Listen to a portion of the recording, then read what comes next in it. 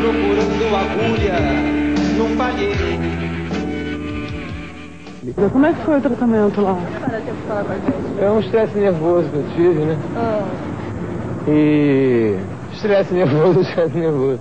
Aí eu fiquei lá fazendo medicamento, tratamento psiquiátrico. Mas agora tá tudo bem. Agora você já tá melhor. Não, não estou, estou nervoso! Não sou louco não, não sou louco não. Estou muito bem. Mais surpreendente ainda era a tenacidade com que Cazuza, cada vez mais fraco,